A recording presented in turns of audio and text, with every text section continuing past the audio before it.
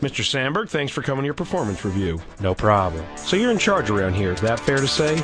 Absolutely. I'm the boss. Okay, so take us through a day in the life of the boss. Well, the first thing I do is Talk to corporate, approve memos, lead a workshop, remember birthdays, direct workflow, my own bathroom, micromanage, promote synergy, hit on Deborah, get rejected, swallow sadness, send some faxes, call a sex line, cry deeply, demand a refund, eat a bagel, harassment lawsuit, no promotion, fifth of vodka, shit on Deborah's desk, buy a gun, in my mouth, Oh, fuck me, I can't fucking do it. Shit! pussy out, puke on Deborah's desk, jump out the window,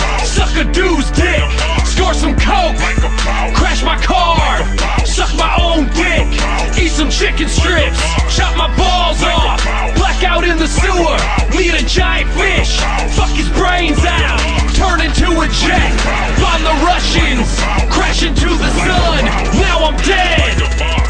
Uh huh. So that's an average day for you then? no doubt. You chop your balls off and die. Hell yeah. And I think at one point there you said something about sucking your own dick? Nope. Actually, I'm pretty sure you did. Nah, that ain't me. Okay, well, this has been eye opening for me. I'm the boss. Yeah, I know. I got that. You said that 400 times. I'm the boss. Yeah, yeah, I got it. I'm the boss. Okay, great. I heard you. Bye. like a boss.